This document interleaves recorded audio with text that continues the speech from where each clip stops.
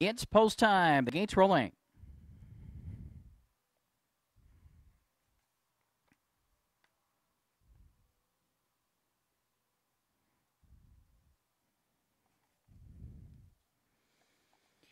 Field in motion for tonight's second race. Conditioned Pacers, field of five here. Mystical Storm, Snow, and Patty Cake Moose.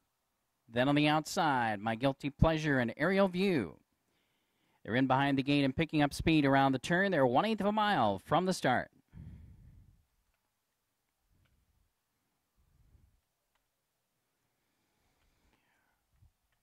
Race two Pacers are running aces lined up and they're ready for action. There they go.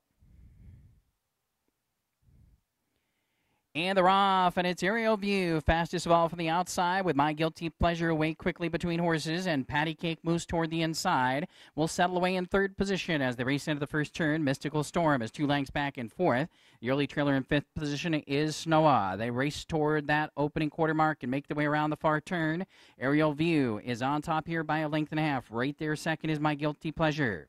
Pacing along third, Patty Cake Moose, followed by Mystical Storm and Snowa at the back, 28 and 2 for the opening quarter. In front of us for the first time, Mooney Swenson shows the way here with aerial view. Off stride in the field went Mystical Storm. Number one jumped it off in the lane here the first time around. So it's aerial view on top, headed toward the half mile. My Guilty Pleasure still right there, following the leader from second. Patty Cake Moose is about two and a half, almost three lengths back in third position. Further back in fourth is Snowa, and the trailer Mystical Storm after that miscue. They're halfway home at 57 and 1 here. That second quarter was in 28 and 4. Pretty good tempo for Aerial View, who still has a pretty big lead here. Almost three lengths now over My Guilty Pleasure. A further three lengths to Patty Cake Moose in third. Three eighths of a mile left to go.